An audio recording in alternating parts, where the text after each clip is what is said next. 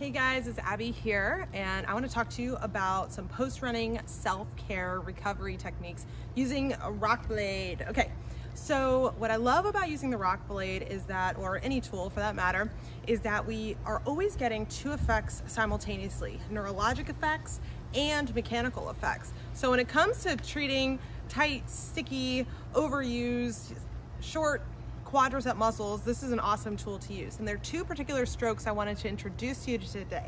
So one is the down regulation stroke and one is the chop method. Okay, so the down regulation stroke is where we're gonna move from hip to knee as we work through this thigh muscle and we go in a slow, deep orientation. You move as slowly as you can. I always tell people that if you're not bored, you're moving too fast. So this is an awesome technique for causing a reflexive reaction by your muscles to relax.